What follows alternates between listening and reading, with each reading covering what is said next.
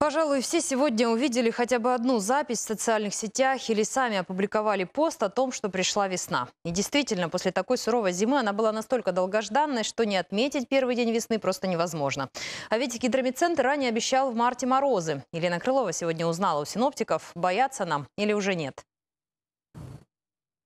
Итак, погода говорит, что только радоваться остается жителям Хакасии. Действительно, настоящая весна пришла в республику. И тот прогноз о 30-градусных морозах, которым нас раньше пугал гидромедцентр, к счастью, не сбылся. Итак, сразу расскажем, какими будут первые дни марта в Хакасии. Самое холодное, что нас ожидает, это ночью минус 10 градусов, местами минус 12-17. Днем так вообще настоящая весна, плюс 7 градусов. Будет ветер такой средний, 2 7 метров в секунду. Э, из общей картины выбиваются только данные метеостанции в Орджоникидзевском районе с говорящим названием «Ненастная». Там всегда своя атмосфера, минус 17. Это как раз про эти места, и ветер там будет до 20 метров в секунду.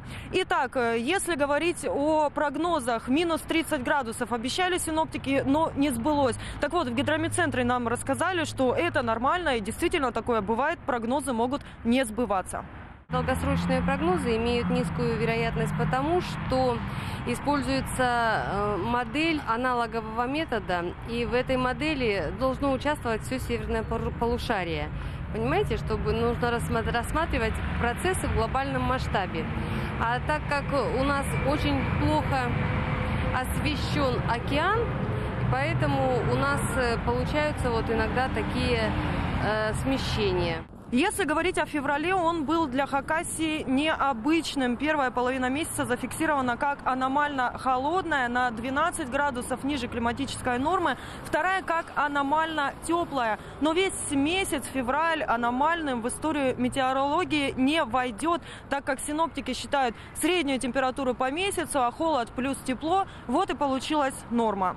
Вот такой прогноз дает гидромедцентр Хакасии. Надеемся, что именно он сбудется теплится, будет тепло. Уж очень долгожданная была эта весна.